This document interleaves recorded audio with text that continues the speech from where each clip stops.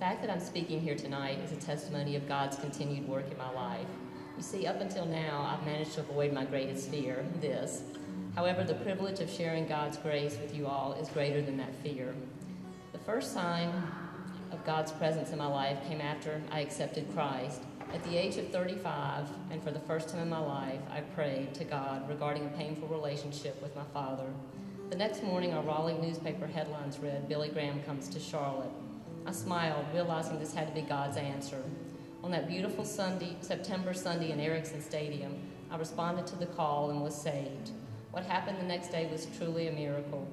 I woke with a warm, light feeling in my chest, which gave me immense peace.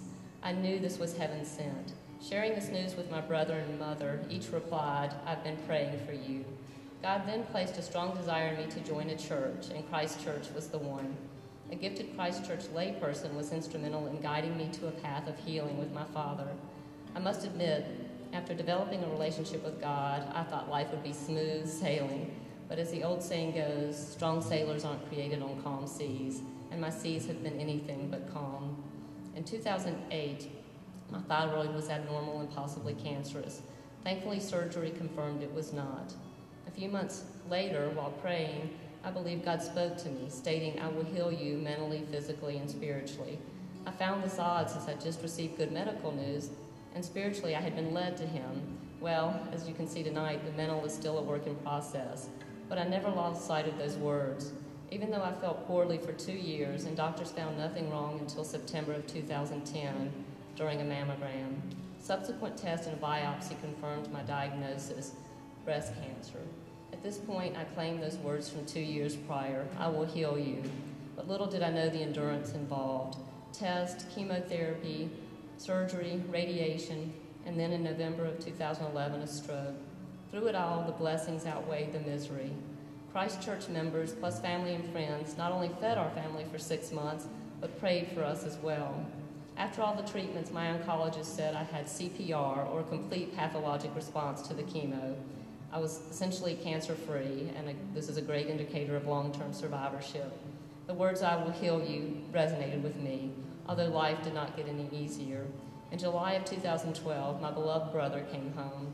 During our time together, I began to question God. Why was I being led to remember all the details of my healthy, strong FBI agent brother and his visit? In August, he called me to say the mass behind his sternum required surgery. Afterwards, he suffered suffered a massive stroke and was given less than a 2% chance of surviving. A life-saving craniectomy was performed. The indelible memories God gave me in that visit were finally realized as a premonition. My brother has made a remarkable recovery. In April of 2013, our mother required brain surgery and was unable to return to her home. In June of this year, we lost our dad. It would have been easy for me to give up, to say I've had enough, but in those dark days, of suffering, I grew closer to God. I considered my suffering a blessing because throughout the past four years, God's continued work in my life is apparent. I'd like to leave you with a Bible verse which I found inspirational. It's 2 Corinthians 12 9. My grace is sufficient for you, for my power is made perfect in weakness. Thank you for allowing me to share my story with you tonight.